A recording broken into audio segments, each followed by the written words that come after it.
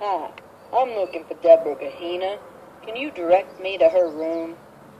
I'd love to, but hospital regulations only allow me to give that information to the immediate family. Are you related?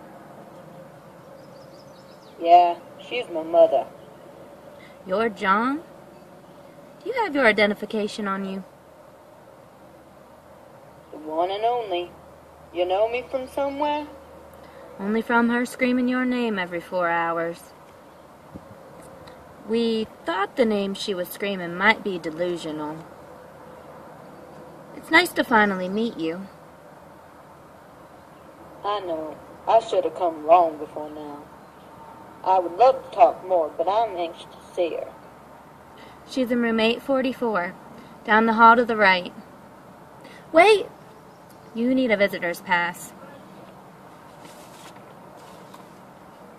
Listen, when I'm done, if you have the chance, you want to grab a cup of coffee?